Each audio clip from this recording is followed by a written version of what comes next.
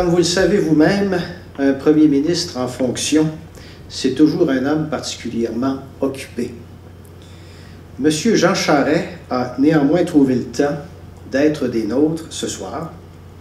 Il y a quelques années, il a fait en sorte que la chaire que je dirige bénéficie d'un appui financier pour l'organisation de deux colloques, dont le prochain aura lieu, je me fais de la publicité au passage, hein, le prochain aura lieu euh, en février de l'an prochain à l'Assemblée nationale et il portera sur euh, la francophonie parlementaire. Je saisis l'occasion pour l'en remercier. Et c'est avec grand plaisir que je cède le micro au Premier ministre du Québec.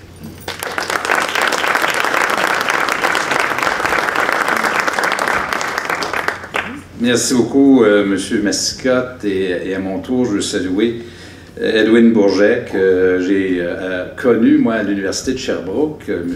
Bourget était vice-recteur chez nous, dans mon alma mater, jusqu'à ce qu'il trouve un emploi ici à l'Université Laval, qui est moins intéressant.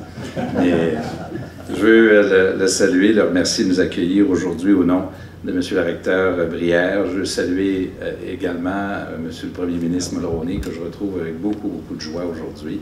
Et, euh, j'aurai l'occasion de parler dans quelques instants de, quelques-uns de ses discours. Je veux saluer mes collègues de l'Assemblée nationale qui sont nombreux, mes collègues du Conseil des ministres à être avec nous aujourd'hui, Yves Bolduc, Kathleen Bale, Marguerite Blais, également Sam Hamad, Madame la vice-présidente de l'Assemblée nationale du Québec, M. Marc euh, que M. Mulroney a très bien connu, Michel Pigeon, ancien recteur, Stéphanie Vallée, évidemment Lawrence Cannon, qui est un ancien de l'Université Laval euh, et un ancien de l'Assemblée nationale du Québec. Lui et moi, on s'est croisés sur l'autoroute 20 euh, en, voyageant d'un côté et de l'autre. M. Blais, qui est doyen de la Faculté des sciences sociales de l'Université Laval, M. Dion, directeur des presses de l'Université Laval, et M. Cholette, finalement, qui est notre délégué à Ottawa, mesdames et messieurs. Euh, c'est avec beaucoup d'empressement que j'ai accepté cette invitation de lancement pour le livre de Paul Terrien. C'est un événement qui est particulier pour tous ceux qui ont à cœur le Québec et son histoire et la démocratie. Vous serez transportés par la collection de textes qui nous est proposée aujourd'hui. Paul Terrien a dû mettre un temps énorme et déployer des trésors d'ingéniosité pour retracer des textes si riches et parfois si anciens. Et ce qui m'a beaucoup impressionné dans les textes que j'ai vus, c'est le parcours, c'est la passion qu'ont chacun des auteurs pour le Québec. La passion qui a animé à travers les siècles les défenseurs de ce peuple qui a toujours cherché à vivre à sa manière. C'est la grande persistance à travers les époques, de la bataille pour la protection et la survie du français, mais c'est aussi sur l'avenir du Québec et de sa destinée. Notre histoire à nous a été pétrie par cet enjeu vital que représente la langue française. De la colonie jusqu'à la nation, c'est le fil commun. Il y a un extrait que j'ai retracé qui en témoigne, qui remonte au 21 janvier 1793. On est dans le Bas-Canada. Et dans quelques mois, la France va déclarer la guerre à l'Angleterre. À l'Assemblée législative du Québec se tient un débat sur la langue. Tiens, pour faire changement.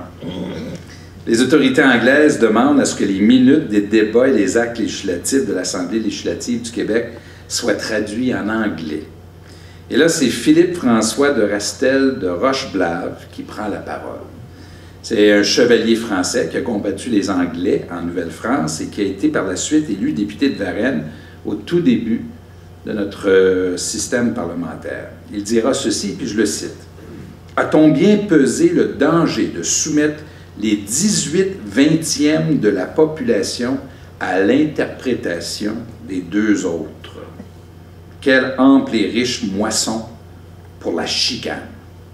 Comment tranquilliser le public qui verrait toujours dans les prononcés des cours des actes de partialité au lieu d'y voir des actes de justice? Ces mots ont 217 ans. Il faut dire que la tonalité varie beaucoup dans les textes et dans le temps. Ça change la tonalité, mais la substance a une étrange familiarité. Ce voyage à travers les grands discours, c'est la quête perpétuelle d'un peuple courageux qui a tout fait pour que s'épanouisse en terre d'Amérique une nation de langue française.